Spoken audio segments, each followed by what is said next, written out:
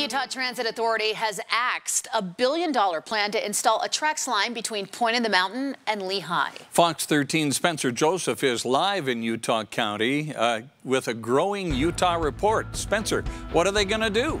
Yeah, they are going to axe that plan and go with big bendy buses. Now that sounds kind of an interesting way to go, but they say it's going to save hundreds of millions of dollars to taxpayers.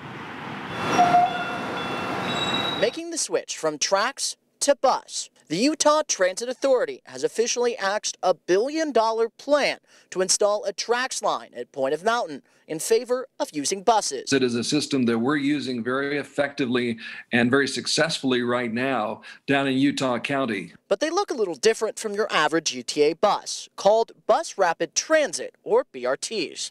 They're big, long buses. They can uh, carry a lot of people. They move very fast, uh, most of the time in their own designated lanes.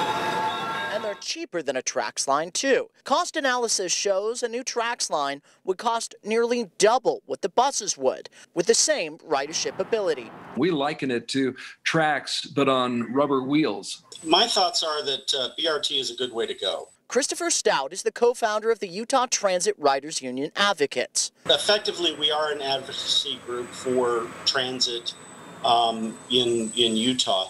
And he's on board with the switch. It has all the benefits of rail. It takes cars off the road. Which is one reason this new addition is so important, taking away traffic at one of Utah's worst bottlenecks. But people have to have a willingness to do that, to get out of their car, maybe not just, you know, maybe just one day a week and there will soon be more cars here as well. The second reason, the soon to be gone Draper State Prison will be redeveloped into acres of housing and businesses.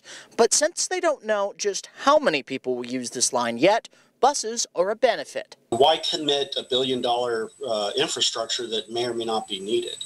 So the BRT really makes it flexible, easy to operate, easy, easier to change. So while TRAX is important for UTA, we're finding out in certain situations, certain circumstances, it's more cost effective to go with the BRTs. So to share something with our viewers, we actually had a gentleman that came up to us right before we did this live shot. He was riding his bike and he says he lives in Draper, commutes to Lehi, and he rides his bike on the side road because he doesn't like the traffic. Now, that is exactly what UTA is building this bus line for, and he says he would take it all the time. So there you go, UTA, your very first customer and hopefully many more to come. Live in Utah County, Spencer Joseph, Fox 13 News, Utah.